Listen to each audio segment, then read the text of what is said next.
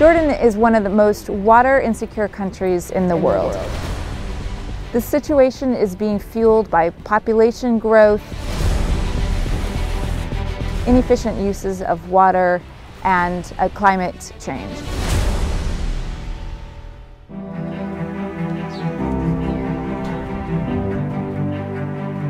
What we as the United Nations are doing is partnering with the government of Jordan on its new strategies and seeking new ways to expand our, our cooperation and create greater impacts for the people of Jordan.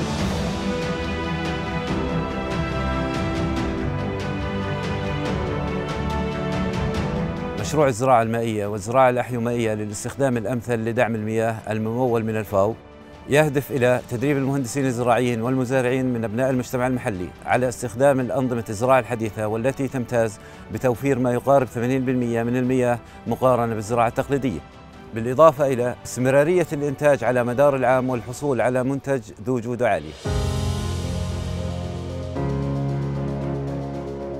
أنضمينا إلى مشروع المدارس الحقلية للمزارعين والمشروع كان يهدف بالدرجة الأولى إلى توفير المياه للري. فبهذا الحكي إحنا استفدنا آه اتساع رقعة الزراعة وزاد الإنتاج. وحفرت بركة آه زراعية. عملنا على تربية أسماك.